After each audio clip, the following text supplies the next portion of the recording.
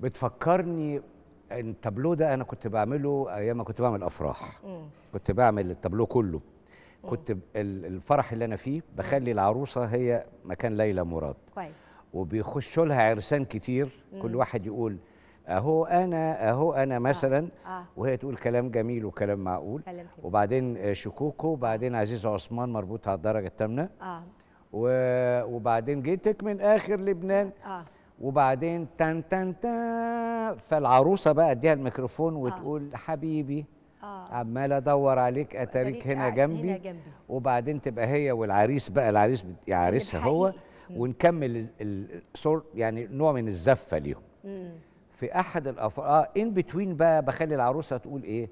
كلام جميل وكلام معقول زي ليلى مراد ما قالت. آه. وإذا بي أرى ضمن المدعوين ليلى مراد. الله. قاعدة صديقة أم العروسة. مم. وإحنا كلنا اتربينا على ليلى مراد وصوت ليلى مراد طبعاً. وحلاوتها طبعا. سواء على الشاشة اللي ما فيش زيها يعني على الشاشة الغنائية أيوه. وعلى الأغاني الجميلة الحلوة وعلى صوتها المميز قوي برضو اللي ملوش زي. آه طبعا. فإحنا آه، وأنا بساعد العروسة دايما هي بتقول كلام جميل وأنا معاها بقول وكلام معقول ما أقدرش أقول لقيت ليلى مراد. فأنا قلت إيه إيه ده؟ وقفت المزيكا. قلت إحنا معانا النهارده ضمن المدعوين الفنانة الكبيرة السيدة ليلى مراد. فالناس سقفت. تسقيف لو أقول لك خمس دقايق الله طبعا بيسقفوا طبعا. لليلى مراد. وأنا رحت لها وإيه مسكت إيدها كده ووقفت ترد تحية الناس بقى آه. في قاعة في إحدى الفنادق مليانة فيها يمكن 800 مدعو كان فرح ياه. مهم قوي. و...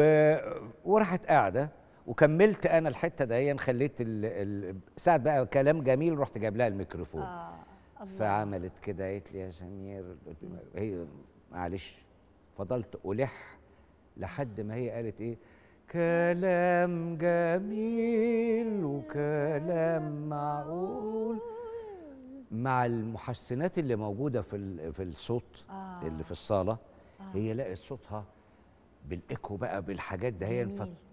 الطم يعني اطمنت إن آه. إيه ورحت واخدها من إيدها. على مكان الفرقة مم. وخليت ليلى مراد تغني ساعة معايا وأنا واقف جنبيها ساعة. دي عبقريتك بقى. ده آخر حاجة غنتها ليلى مراد لأن بعد كده ده كان فرح خاص ما فيش باربع سنين ماتت. دايما مفاتيحي في إيد سمير صبري. آه. آه، لأن هي؟ عشان اليوم يعني ده؟ إحنا اتقابلنا قبل كده في المعمورة كتير.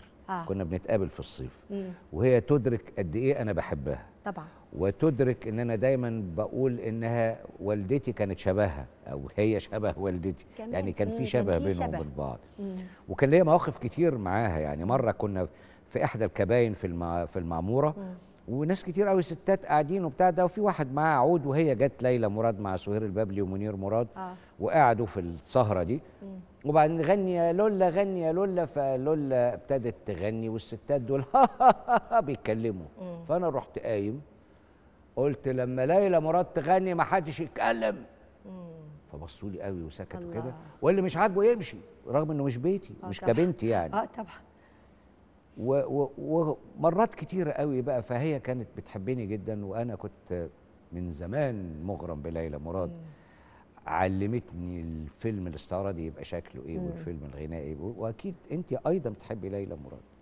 حضرتك مش بتحبي ليلى مراد؟ بموت فيها. مش كده؟ حببتني في الفن. اهو كده. طبعا. آه صح. طبعا. آه.